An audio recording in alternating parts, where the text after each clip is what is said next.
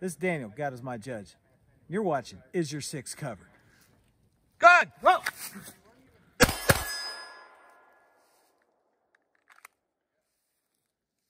Give a thumbs up!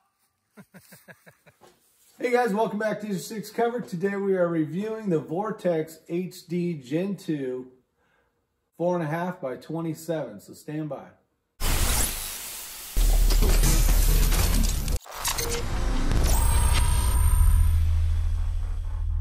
All right, some of the things that we're going to talk about today is the reasons why I purchased and picked up. You may have seen on my latest video that uh, I kind of went through this whole buy once, cry once uh, debacle of buying some improper scopes for what I was trying to accomplish, and that being a thousand yards plus, and hopefully a mile with that one. So if you haven't seen that video, take a look at it because it may save you a lot of money and time, headache, and ammunition.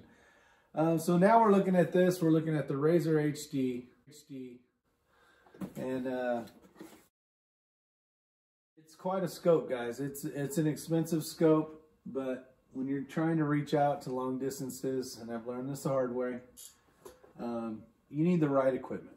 And if you're trying to do that, the right equipment can be, at least for me at this time, is the Vortex HD Gen 2. Some of the things that I really like about this scope is it is beefy, it is heavy, unfortunately, but when you want something that's gonna gonna take the abuse, you know, you know you got it. Um, right off the get-go, I want to tell you that Vortex does have a lifetime warranty on these items, so that is a plus.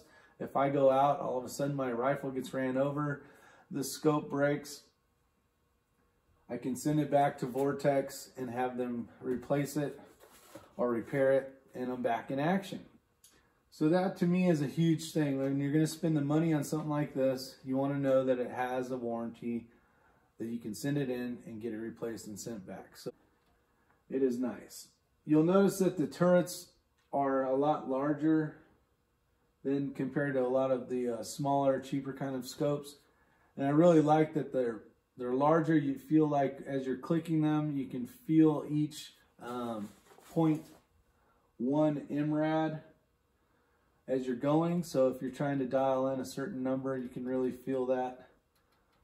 So if you're working in some dark or darker dusk kind of applications where you can't see the numbers as well, you can you can really feel those as you're moving back and forth. Um, the parallax is really nice because it goes from 32 yards, I believe, 30, uh, yeah, 32 yards up to infinity, so you can really get a nice crystal clear uh, view. Uh, changing this from four and a half to 27 is, uh, it's nice and tight per se, so you're not, it's not sloppy at all. The glass is really, really clear. It's made in Japan. The scopes are, I should say very top, top quality. Uh, one of the competitors that these guys have been battling back and forth against, especially with your precision long range shooters that are competing utilizing this stuff, is Nightforce. It's right there with it. Nightforce is a little more expensive. I believe it to be a hair lighter. Um, but back and forth, when these guys are battling back and forth, you know that between Nightforce and the Vortex HD series, the Gen 2s, you're talking apples to apples for the most part. Um, but again, like I said, the price comparison is this is a little bit cheaper than the Nightforce. Love Nightforce as well. Been able to use those with the X-Ring channel, if you're not familiar with his channel. But the um, I'm going to take the camera off. I'll bring it over here up close and kind of show you guys what we have. Marty. All right, so first things we'll start off with was we have a 56 millimeter objective lens. The tube is a 34 millimeter. Both of these are on 20 MOA Rise scope mounts. But back to the scope. So let me zoom in here. First thing you'll see is you're gonna see the turret body area and you're gonna see that these click down to lock and you pull them up so that you can dial them in and then again you can press those down to lock them. Same goes for the windage the parallax, like I said, is 32 yards to infinity.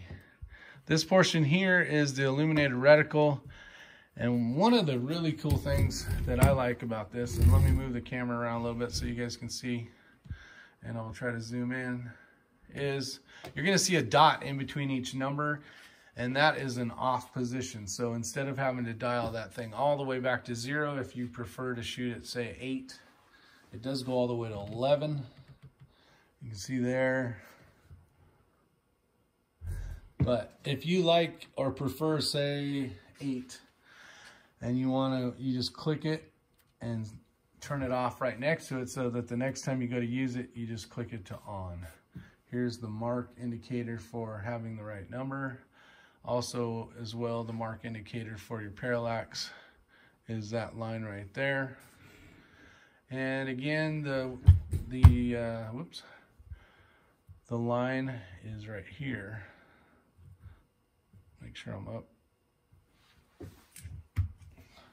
All right, and you can see it does have a zero stop right there. With this rifle, we set it up to go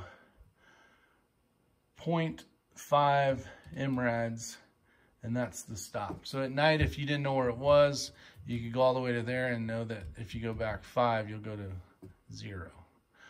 That way you have a little more options when you're shooting. Now back to here, you can see, I guess I'll stay here. This is the, uh, your zero stop is right there. There's the line indication and you can do your change your windage from right to left depending on what you're trying to accomplish. So I'll go ahead and put that back, lock it in. You can see that you can hear that.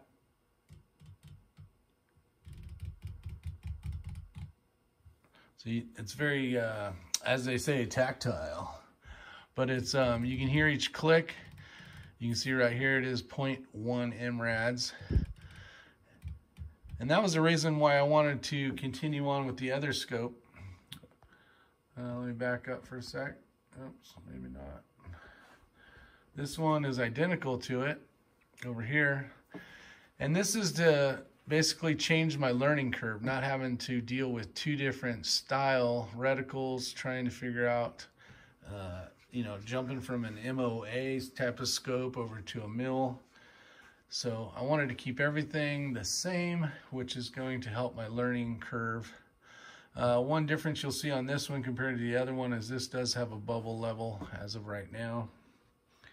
And you can see down here that you got uh, your zero depending on how your abilities with your eyes are, what age you are, and that kind of stuff. You can change it a little bit to get a clear, uh, crisp view.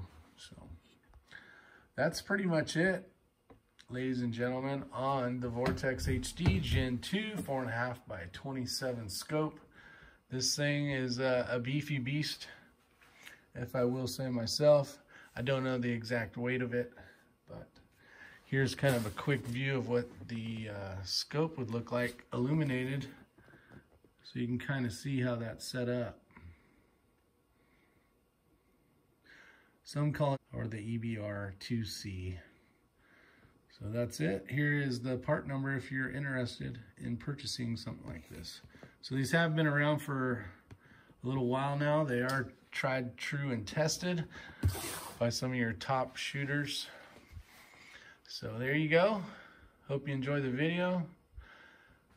If you are not a subscriber and want to be a subscriber slash family member, go ahead and hit that subscribe button. Give it a thumbs up if you like the video. And I'll see you guys on the next one. Take care.